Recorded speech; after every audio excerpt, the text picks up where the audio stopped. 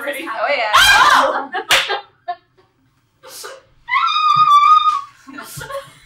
Hi, yeah, it'll be all right.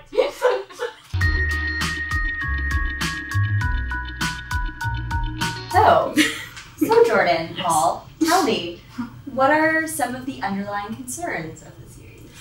Uh, so coming into it, uh, I was sort of looking at the original text and and looking at the way the original text perceived women, and I think I was very interested um, in updating it, but also being able to sort of position it for some of the some of the I want to say some of the, the countervailing and veiling currents that, that you see happening today, and so it's sort of um, with with Carmilla and Laura in particular, that became about very much a dialogue of innocence and experience because that's what's coming out of the novel itself, right? Carmilla's Yeah. always sort of like, you don't understand.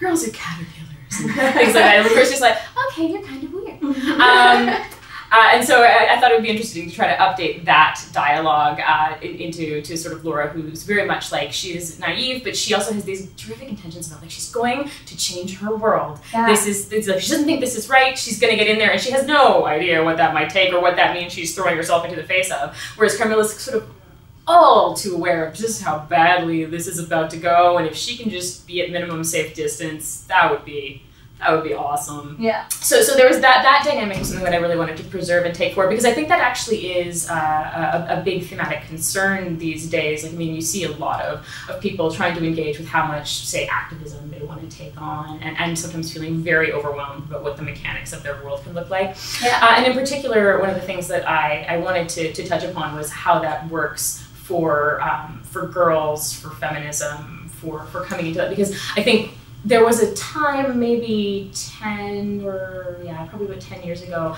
when there was sort of like a downtick in feminism when you got a lot of the sort of, sort of reactionary things which is like i'm not a feminist.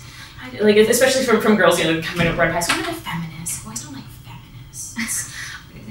Um, and, and you just think you're getting your own corner because nobody else is gonna um, but uh, so I very much I think wanted to try to get at, uh, at, at, at that feeling of we're technically supposed to be in a world where like yay feminism and, and things have been overhauled and Yeah.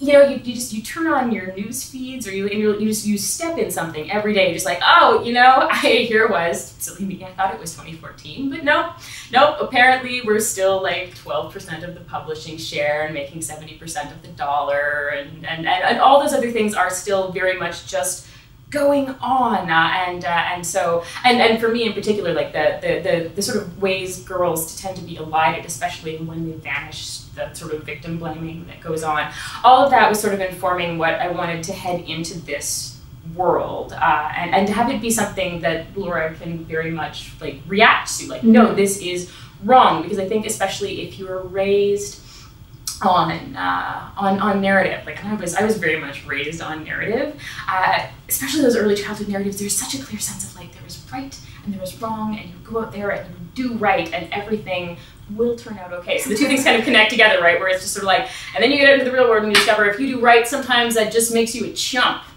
That's cool. I want to like expand on that and say, um, one of the things that I love about the series and about your writing is that what separates it from other like college age themed shows is that it is a love story, but it's also at the core of it, it's about a girl looking for her friend and like stopping at nothing to m- make sure that she's safe Mm-hmm. and that everything like so i love that because it's like there are like romantic elements and like so often you find um, like high school and college age stuff to just be about um, first love and how much you're willing to compromise your personality for that Mm-hmm. and I think the one like um, Natasha who plays Carmilla and I we talked about this. We're like it's so great because both of our characters do change so much over the course of the show, but we're like learning from each other and we're like growing into like our own separate people.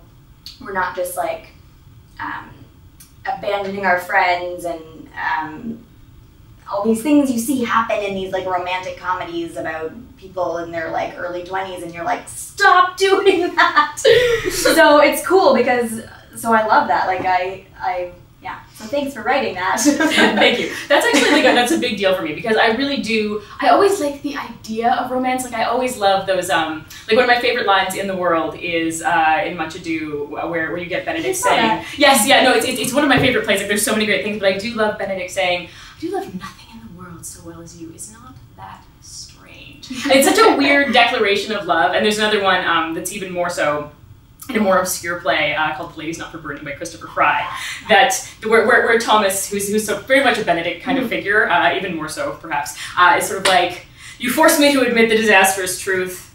I love you. A misadventure so intolerable, hell could not do more. Um, so, so I, I I love those sorts of like, oh my god, you can feel that. Like he doesn't even want to be in love, and he's that in love. And I frequently feel so underserved by by uh, so many romances out there because they just they're sort of like, and then we meet, and then we're happy, and then this obvious little thing happens, and it's just like, no, romance needs to be the meeting of profound and distinct people with troubles and snarls, and, Yeah. and it needs to be the working out of like I really love the 1930s when you had these screwball comedies that were frequently about like, so I'm really poor and you're really rich, and we must hate each other because of these things, and then through this romance we're gonna work out our class differences and come up like like uh, is, it, is it Howard Hawks? I'm going to say it's Howard Hawks who's just like we can totally work out class differences through this genre that just happens to be about love.